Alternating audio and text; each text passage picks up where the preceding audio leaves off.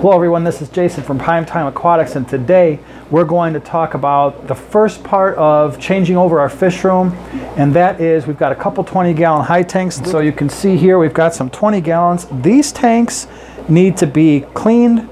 We're going to paint the backs. We're going to talk about that today. And let me move out of the way, Luke, show them what we're going to be replacing.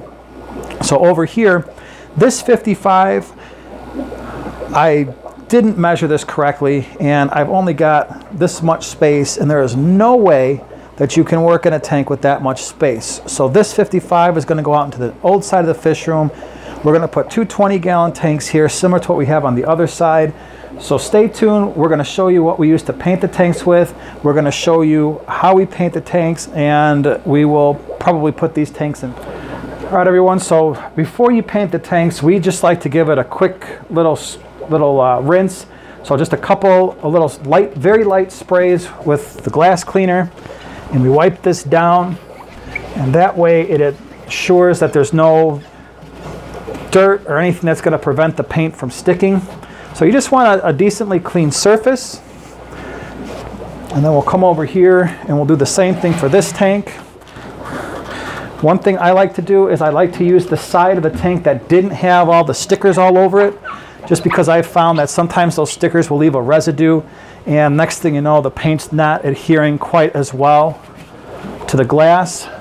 So the back side, the, paint, the side that we paint is the side that did not have the stickers all plastered to the tank. So Luke is being my helper here. This is what we use, hold it steady.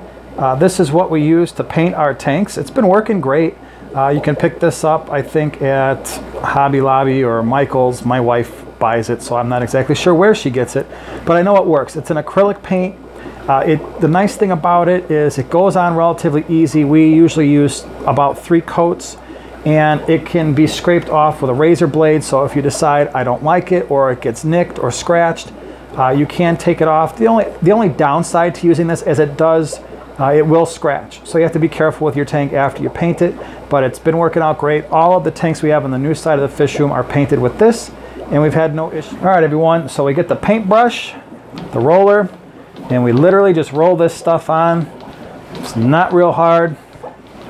I'm not overly concerned about the rim of the tank or the trim on the backside because let's face it, you're really not going to see the backside. So it doesn't matter if you get paint all over it. If you do get paint somewhere where you don't want it on the glass, again, it scrapes off so easily that it just really doesn't matter. So the first coat, it's going to be kind of thin, and I almost guarantee you, using this paint at least, you're going to be able to see right through it uh, if you were to shine a light on it. So uh, this usually for us requires a couple of coats at least, well, more like three coats. So there you have it. That is coat number one. We're going to let that dry and then we'll add the second and third coats. So here you can see Luke's got the other tank going and he's covering the first, doing the first batch and he's never painted a tank before and I'd say for never painting a tank, looks pretty darn good. Good job, Luke. Okay, next thing you want to do, take a smaller sponge brush and just go ahead and push paint up into these creases right here or where the seams meet just because the rollers typically don't do that very well.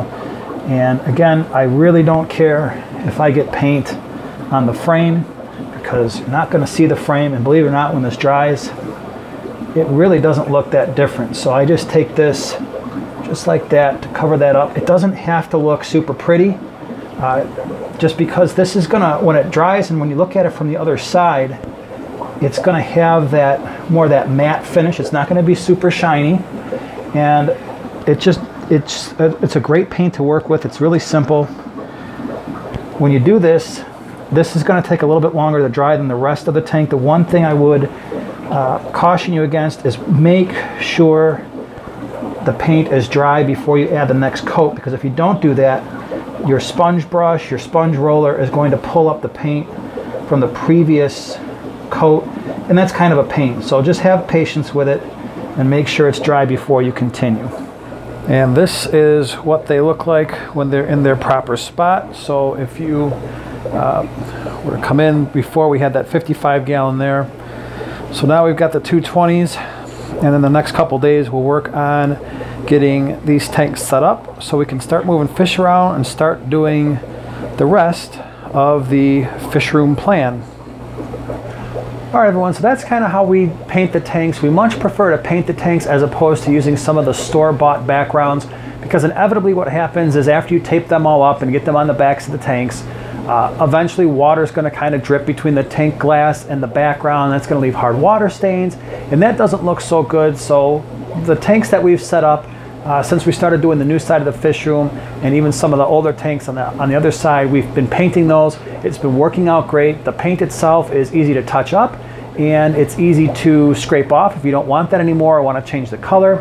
And it's relatively, it's relatively durable enough to to stay around for a long time. So if you like this video, subscribe, stay tuned because we're going to be doing a lot more videos and this is really just step one in us adding the tanks to the fish room and adding that extra capacity. So we'll see you in the next one.